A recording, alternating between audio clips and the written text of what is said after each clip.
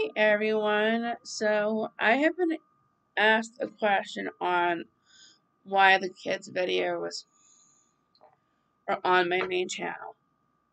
So the reason why the kids videos are on my main channel is because I went over on them. Um,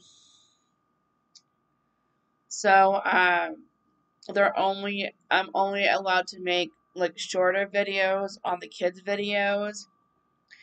But I went over on some of them or a lot of them. That is why they're in the main channel. So I don't want you guys to feel like feel obligated to watch them because you don't have to watch them if you don't want to watch them. You can if you want, but um, you don't have to watch them. Um, they're just there because I ran over time.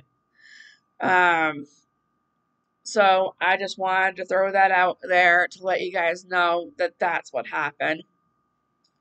Again, sorry on the about the computer uh, camera.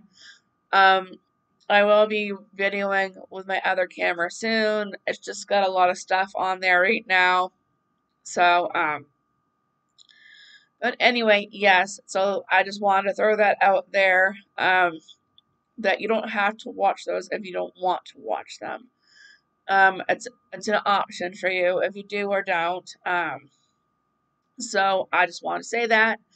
Um, questions, comments, let me know, and I'll see you in the next one. Bye.